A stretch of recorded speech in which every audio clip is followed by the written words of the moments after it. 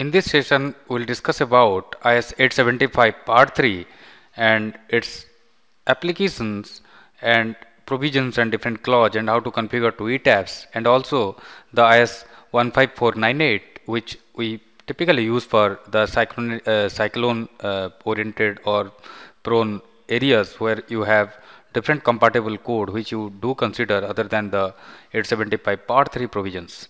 So this too will be our primary point of discussion where you can see the different factors and configurations and the mean uh, aspect of the wind uh, speed or the velocity which you get and how to co consider that and configure to get or achieve the typical output. So that we'll be discussing. So let me go through this 875 part 3 code and couple of amendments happen here. The earlier wind pressure map, one giving winds of shutter duration and another excluding winds of shutter duration have been replaced by a single wind map giving maximum wind speed in meter and second because we are really interested in the worst case scenario. So maximum wind speed will be pretty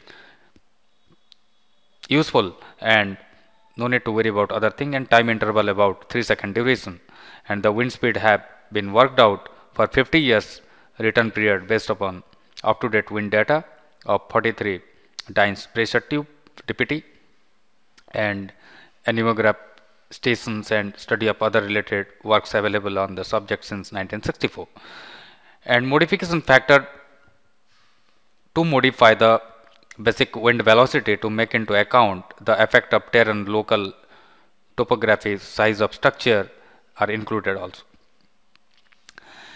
and couple of uh, new uh, thing you can see the force coefficient the drag coefficient are given for frames lattice towers walls and hoardings the calculation of force on circular sections is included incorporating the effect of Reynolds number and surface roughness.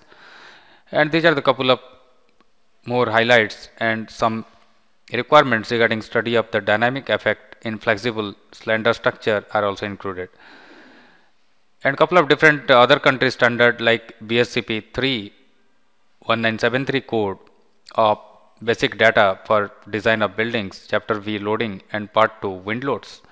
And here AS 1170 you can see for the part 2 wind forces. And New Zealand you can see 4203 1976 and ANSI A 58.1 1972 for American standards.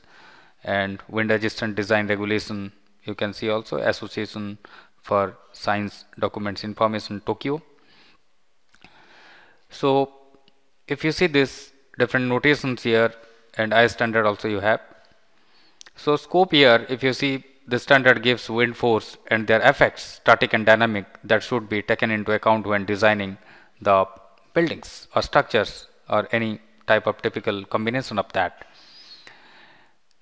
the ultimately the wind load estimation will be made by taking into account the random variation of wind speed with time.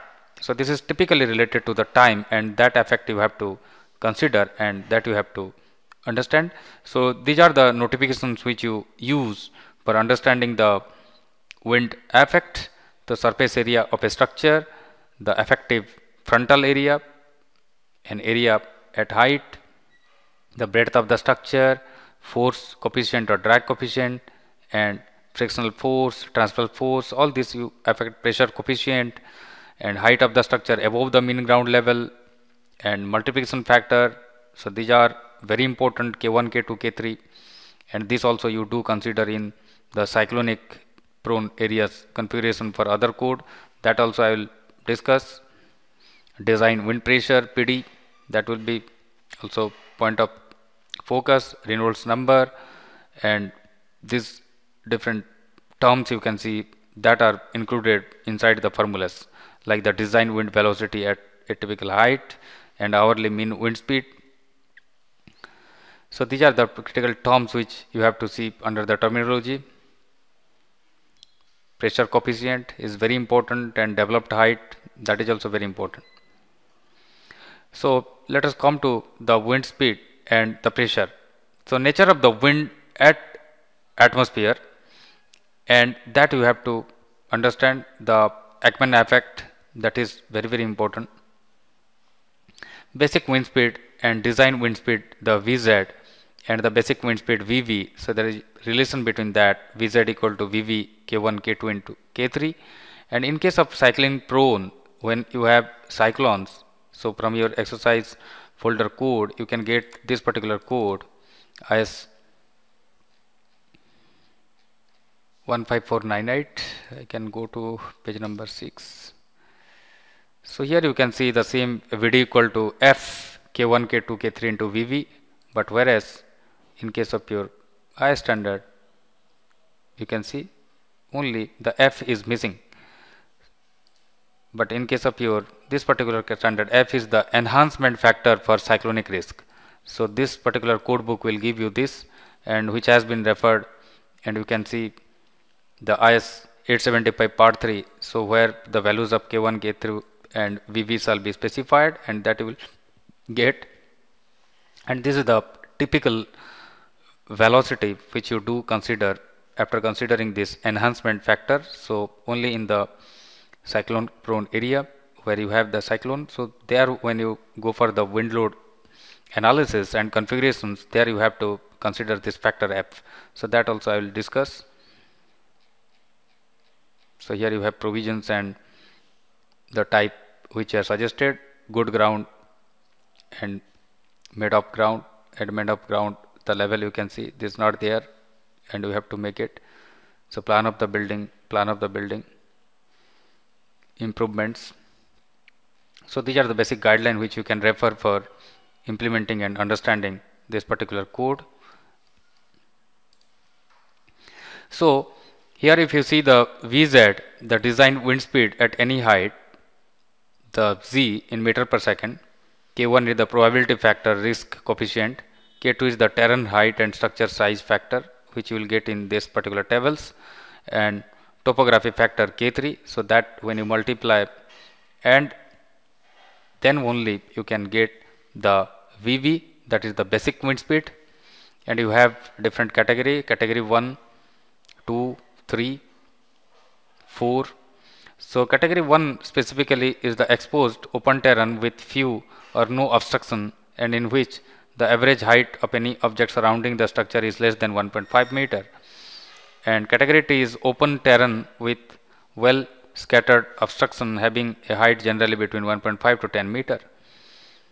And category 3 terrain with the numerous closely spaced obstruction having the size of the building structure up to 10 meter in height. And these are couple of nodes which you can go through it. And terrain with numerous large highly closely spaced obstruction. So this category include large city centers generally with obstruction above 25 meter and well developed industrial complex. So here you can see the typical map which I'll just I'll fit it so that you can clearly see this. So this is the different areas with the color and these are with the 55 meter per second to 33 so these are the 33 and these are the peak areas where you can see in the coastal belt areas but still here you can see the 44 in the Mumbai and the Surat and all this region. And at 55 you can see all this coastal belt like the Vishakhapatnam and the Vellore Madras and typically this Bhubaneswar these are with the higher values. And this also 39 you can see these areas so like that each country having their own uh, the wind graph and that you can follow. And based on that here you can see the risk coefficient k1 so that you have to specify the mean probable design life of the structure in years and K1 factor per basic wind speed in meter per second for 33 to 55 so 33 to 55 so you have to pick the values here. Which factor? If you are going for design 100 this factor you have to use. If you are going for 50 years. So these are the values which you have to specify k1 by adopting this particular formulas you will get the result. So here you have the n. Here you have the mean probable design life and Pn risk level in the consecutive years. And Xn the extreme wind speed for given values. And here you have the terrain category 1 2 3 4 and there you can get the factors based on the k2 factor this is. And table 3 will give you the k3 this will be the k3 factor that you will get based on the different terrain category and the fetch kilometer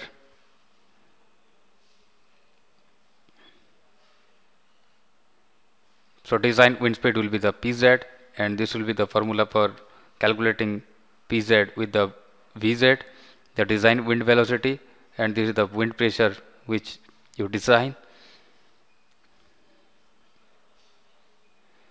So this particular comparisons you have to apply.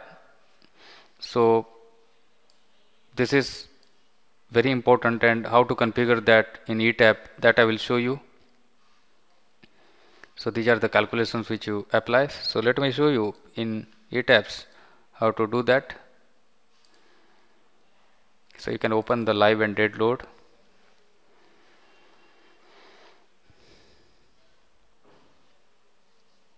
And by default you never get the option for configuring configuring the wind load. So you have to add that. So when you open or start doing any project you never get by default wind load or earthquake load or any higher load which you have to configure manually. So if you go to the loads and load pattern here only by default you see the dead and live load which are suggested by the system. If you want to add a wind load you have to just right click this load pattern and go to add new load pattern. And here you have to add a new pattern and give a name wind load and type I am giving wind here and auto lateral load has been added here for all the different country code I am selecting here Indian IS 875 1875 so once you configure this don't forget to add the new load once you add this new load, this load will be added and you can directly go to the modify lateral load. And when you go to modify here you can see the structure class terrain category. Here you can see the same terrain category.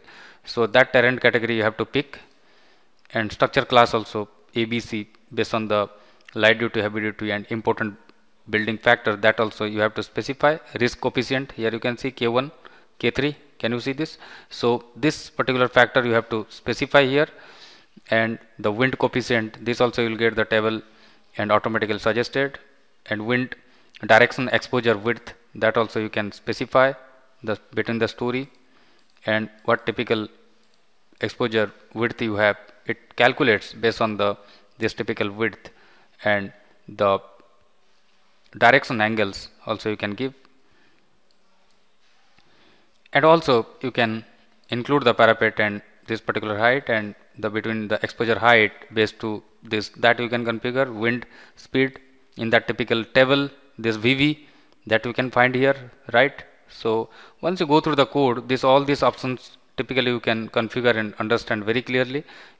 The exposure from extent of rigid diaphragm. So if you have the rigid diaphragm that you can configure. Exposure from shell object. Shell object already I told. So if you have the shear wall or if you can create by going to any particular option which you can use this already I told how to drop the cladding. So in case of cladding also you can apply the same wind load. So we have added this wind load. Now you can see the load cases. Here wind load has been added. And if you go to the modify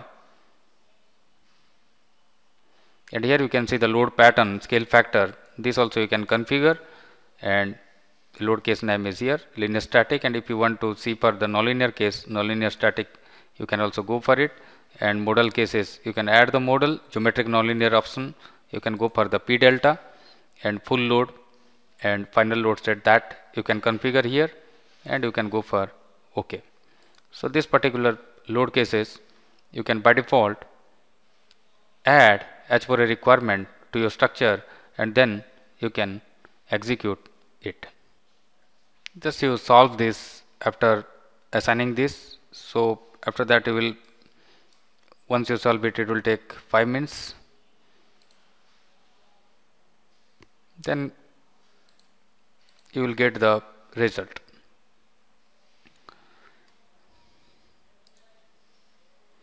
So these are the different codes which you saw and that you can configure and apply. So in our coming session we'll discuss more about the other cases and its configuration which are left. Thank you